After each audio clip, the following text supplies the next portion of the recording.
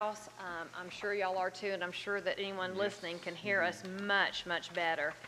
Um, We haven't met here since March the 3rd, which is more than three months ago. So we're going to jump right into our review and discussion of items for our meeting next Tuesday. And the first one on there is 7.1, the budget amendment, a consideration of end-of-the-year budget amendments done by Alicia Searcy, our finance director. On my notes here. Good afternoon, everybody. Uh, What I tried to do was take a look at a- a projection and, and look to the end of the year and kind of see how much revenue, how much expense we were going to have. And after I looked over everything, it looks like we're going to have about $2.8 million in excess of what we uh, budgeted. We had briefly discussed uh, back during a work session, I think that if this was the situation, that we would be interested in maybe spending about a third of that on capital items, a third on employees, and putting a third back into fund balance. So I tried to lay the groundwork for um, some ideas of what we might do with that. Um, And I sent you all a sheet that had the three categories on it. The first category was the capital items, and we had um,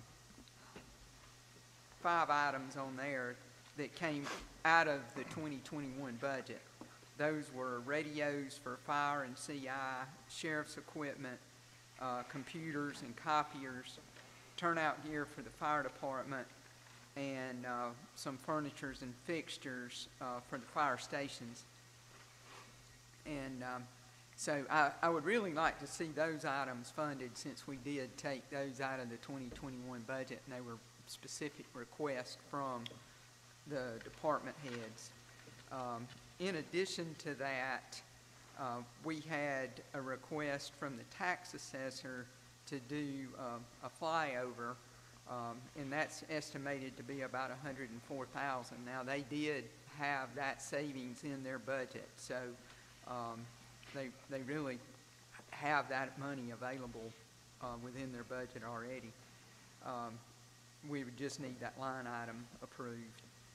Uh, Georgia State Patrol has asked for some radar equipment for some new officers that will be assigned to Carroll County, and they feel like the fine revenue uh, from having that radar equipment would come back to the county and compensate us for that. Um, Douglas County, I think, has already made a commitment to buy that equipment for the officers that'll be located in Douglas County. Then we have a, um, an asphalt roller for Public Works. Um, Charles has the quotes on that. And then, um, we have a compactor system for one convenience center. We have two convenience centers that could really benefit from having compactors there. And ultimately, I think it would save us money because it's going to save us trips um, from the convenience center to the transfer station. Now, we put sixty thousand in there. That, after Charles and I sat down and looked at it, it would cost about ninety thousand dollars total to do the site work and to put the compactors in. So we would probably need about another thirty thousand dollars out of SPLOST if, if that's a project that we want to pursue. Um, And then the last item is uh, $610,000 for public works ex- expenses that have been paid out of the public works budget. Typically, we pay th- those, we reimburse that back out of SPLOST. Those are, that, that is money that was spent on SPLOST projects. Um, And normally, we would reimburse that money back to the general fund. But um, in lieu of the fact that we are tied on SPLOST funds, um, I think this would give us more flexibility in SPLOST if we wanted to put, leave this money in uh, the general fund and just increase the public works budget to cover that. Um, So that's, that's another idea, and that's the largest portion of that money. So that, that would really go to, to roads and um, road, road improvements. Um, Then we have category two for the employees. Um, Human Resources did a lot of work on coming up with uh, several different options on doing a, a bonus structure. Um, The totals of those and kind of that structure were, were emailed to you. Um, There were three options that were originally emailed, and those were equivalent bonuses. The one that, that kind of fit the budget, or that amount of money the best, would be uh, giving each employee twelve hundred and then the part-time people, a reduction in that, um, permanent part-time six twenty-five, and then temporary part-time three hundred, with Bailiffs, Bailiffs getting hundred and fifty. Um, Commissioner Chance asked that we take a look at it from the standpoint of seniority, um, which I think is a good way to, to look at it too, because the people who have been with the county the longest probably deserve more recognition. And so they went to work on putting together a structure where the bonus would start at two hundred and fifty dollars for anybody less than a year. And then if you had a year to five years of service, you would get a five hundred dollar bonus. Um, six to ten years, you would get seven fifty, and then eleven to fifteen years, you would get a thousand. Sixteen to twenty years, you'd get twelve fifty. Uh, twenty-one years to twenty-five years, you'd get fifteen hundred. Twenty-six to thirty years, you get seventeen fifty. Thirty-one to thirty-five would get two thousand. Thirty-six years to forty years would get twenty-two fifty. Forty-one years to forty-five years would get twenty-five hundred. And then we've got one person that's actually been here over forty-six years, so that person would get twenty-seven fifty. The total of that bonus would cost six hundred and three thousand dollars. So there is some room if you would like to spend the nine, approximately nine hundred thousand on employees. There's some room to adjust this structure up some to give each employee a little bit um, more in a bonus compensation, but that was kind of as far as we went with the time that we had to work on it. And um, this is a work session, so, you know, I feel like it's a good time to talk about what your interests are and what you would like to do, and, um, you know, just figure out how, if we want to spend this money, if we don't want to spend it, we can put it all back in fund balance. Um, We will have a significant amount of fund balance. Um, With the nine forty-nine, I think, um, I did, I didn't write that number down, but, uh, we will be over the twenty-five percent that's recommended by, uh, ACCG if we just put the nine forty-nine back in fund balance.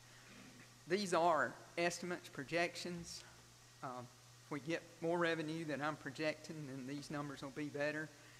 If we get less, I, I don't think we'll get less. I went to a lot of um, time and, and, and walked through each revenue line, trying to make sure um, that I had a good number to, to go from. I think we could have a little bit more revenue, and we may have a few more dollars in, in expenses of something that, that I may have overlooked.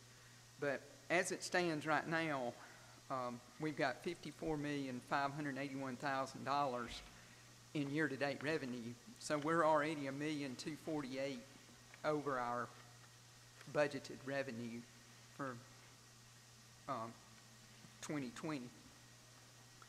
And I feel like we've, we have conserved expenses very well, uh, over the last few months with COVID. And so I feel like our expenses will not, will not come in at, at our budgeted expense level. Now, we do have some things that we, we need to purchase, and so I think it will be close. But I think most of our revenue is gonna create, um, create a surplus for us. Um, The other two things that um, we need a budget amendment on, and these, these we need to do to make our bu- budget balance, so the- these are ones that we, we really do need to do. Um, We had the accounting changes on the local energy excise tax, um, where we had to recognize a revenue for the amounts that we're paying out to the cities, and that's two hundred and twenty thousand. Then we've got the intergovernmental revenue, um, where when we did paving projects or other things for other municipalities or the school board, um, we recognize that money as revenue this year and also recognize those expenses as well as the uh, tax commissioner intergovernmental revenue and the, and the payment there. So there's hundred and thirty-seven thousand dollars that makes that up. And then, um, we've got the transit expenses where we were reimbursed from Three Rivers of about forty-five thousand dollars. And then we expense the vehicle repair and maintenance. Um, and then we've got, uh, contributions and, and donations for the mental health program of fifty-six thousand, and then that'll offset their program expense. So those are, that's the budget amendment to take care of the accounting changes. And then we have a budget amendment just to meet budget. We, we do have a few line items that are over budget, um, and I'm proposing that we offset those expenses with um, revenue from the TVAT. Um, That would be an increase in that line item of $277,621. Um, And we, we have way in excess of that. There's about $4 million in that TVAT revenue for this year. And we're going to ask for an increase in our legal um, services. We've had about, we're asking for a fifteen thousand dollar increase, but there's been about a twenty, twenty thousand dollars in expenses related to COVID between uh, the emergency order and uh, I'm sure Stacy and Avery can explain everything, but we, we had a, a- a fair amount of legal expenses related to that. Hopefully, at some point down the ro- road, we might get that back through some GMA or FEMA money. Um, We want a forty-one thousand dollar increase in the clerical court workers' compensation line, a three thousand dollar increase in trash expense for the hauling, and then a hundred and twenty thousand dollar increase in tipping fees for solid waste. Um, and that just that's just related to an increase in, in tonnage. Um, it seems like everybody's cleaning their house out while they weren't at work. Um, But we've seen continual increases in, in uh, solid waste tonnage year over year. Uh, There's a small increase of $121 in planning and zoning. That's the fee that we pay to Three Rivers based on population. It was slightly over what we estimated it to be. And then uh, $47,500 in debt service interest. That was a change in the way I had accrued for last year, and the auditors wouldn't allow me to accrue it, so they pushed the expen, all the expense into FY 2020, so that covers that. And then the $51,000 in operating transfer is money that, where we paid money out of SPLOST for the culverts and the asphalt and the gravel, and we actually transferred that money back into the SPLOST account to cover those dollars um, that were taken out of that account. So that's what, so that's a total of a two hundred and seventy-seven thousand, six hundred and twenty-one dollar budget amendment for those items. And that's pretty much what I've got. I got So it. we do have, um, James Fulford's here representing the Board of Assessors if you have questions for him. Um, Butch Thornton told me he could not be here today, um, with Georgia State Patrol. Um, he had to take his mother to an appointment, but he will be here on Tuesday, but I will also share with you his cell phone number that you could reach him to have further discussion, um, on him. And of course, Charles is here for the asphalt roller discussion of the convenience center, which I'm thinking, surprise Ernie and Steve. I know y'all are very excited about that and, um, the other stuff. So I believe you wanted to have, you have a question? Uh, Yeah, for Alicia, just to understand a couple of the larger figures here. So the available funds of the 2.814 at the top of the page, that's projected for 6/30/2020, right? That is correct. Okay. Um, If I ran the numbers correctly here, um, a couple, three weeks ago, we got, you know, this, this package, uh, and going from those figures, uh, it looked like we were using about two and a half million a month out of the excess revenue over expenditures. Uh, If we continued with that trend, we would end up June 30 at about 3.5 million. So the 2.8 is a decrease from that, 700,000 decrease from that. It looks like we're using a little more than we thought, but, Well, we're actually going to end up at about 3.6, but I took out the other two budget amendments before I came. So the accounting Okay. change budget amendment and the amendment to meet the budget came out of the 3.6 to get us to the 2.8. okay. So we'll end up at 3.6 million. That- That's good. So the last figure around here, the Uh, motor vehicle title ad valorem tax fee of 1.865, of course, that totals exactly the 955, 220 capital items and the 910 employee item. So what is that? That, that's not an increase that we're expecting in title fees or something? Well, we have, we have recognized that increase. The TBAT tax and the way it was calculated was changed last year. And so the, and the percentage that came, so the state changed the percentage that came to the county. Okay. And we recognized a, a large increase over our budget there.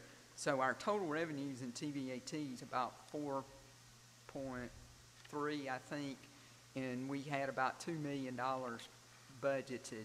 So we've got about a two million dollar e- excess in that line item. Okay, So this will take, this will take up that excess. okay. So in other words, of that 1.865, that's already calculated into, and, and from that 1.865, we're taking the 955 and the 910. Correct. Okay, okay.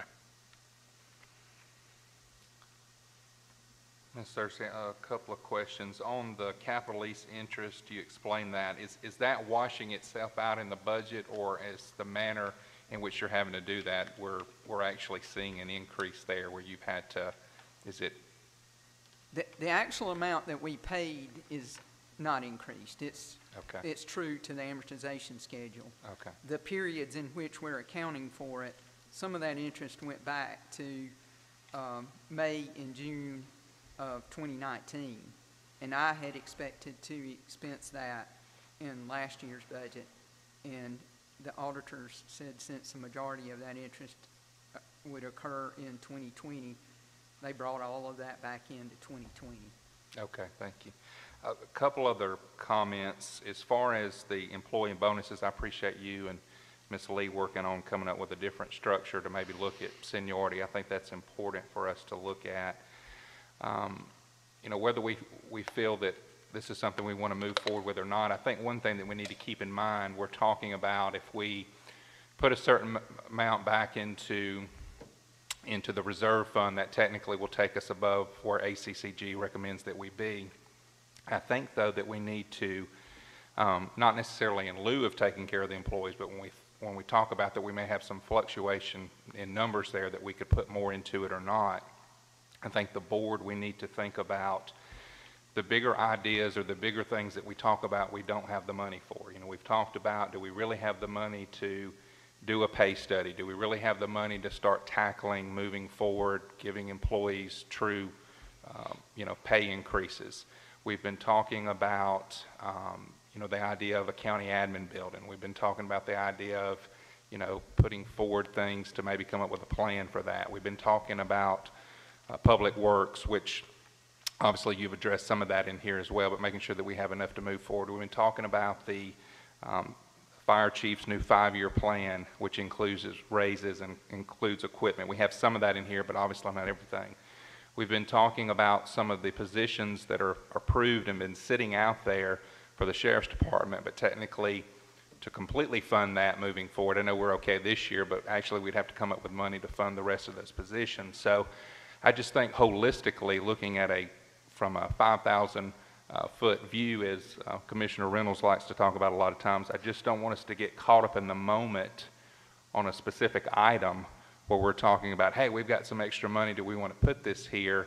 And I'm fine with doing what the consensus of the board wants to do, and I think we all want to take care of our employees, but I just want to remind the board as we think about these utopia or bigger ideas, we need to remember when we come up with 300,000 here, or 500,000 here, or 200,000 here, we've got to keep thinking about those bigger items that we claim we don't have enough money for. We may have to start allocating to those, what I'm calling prior commitments, things that somewhere along the way we've got to see to fruition.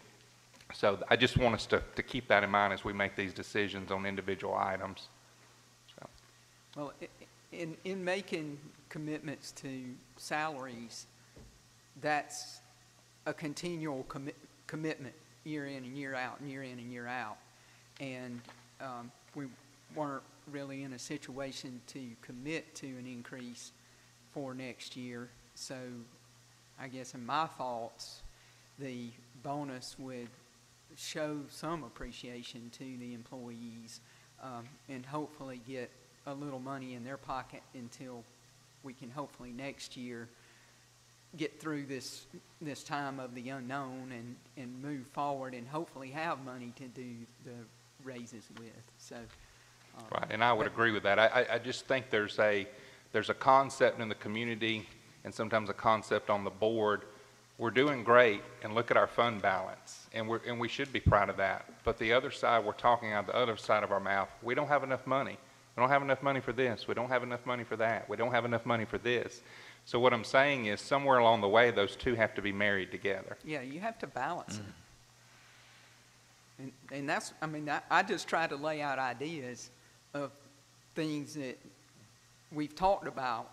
And, and if that's the way we want to spend the money, then we can. If we don't, if we would rather put it in fund balance, we can do that. Or if we would make a com- long-term commitment to something else, we can do that too, so. And my comments, you know, are not directed at you. You've done Oh, a great job. I I'm, mean, I'm I- just, I'm just saying, I, I want us to make sure we're thinking about these things as we make decisions on individual topics. Let's, let's keep in mind these bigger things that we continue to talk about. Where is that money going to come from? Well, this is a prime example of, you know, we have opportunities here. We may need to take a little here, here, and here to build up to do and accomplish some of those things that are still sitting out on the table. So Right. my comments are not directed at you, just in general. Yeah, I think it's good, good dialogue. If we could somehow y- you could monitorize that, I guess, that's, that's a great concept. uh, And I think if we, if we do put in, like you said, some best guess figure for that, like the n- new positions in the fire department, I mean, yeah, it's gonna, if we, if we're coming up now with a one point two four eight, uh, budgeted revenue overage, uh, that might all be eaten up, you know, uh, down the road in those type of things, so I wonder if we could somehow get a dollarization of that amount to, to see, okay, if we had those type expenses, where would we, where would we be? I, I'm, I feel confident that we can put a dollar on it if I know specifically, I mean, the, Which? the firefighter positions, um, I can't remember off the top of my head, but I had a number on, when we went through all the budget, that Saturday when we went through the budget, um, work session, I had a dollar at that point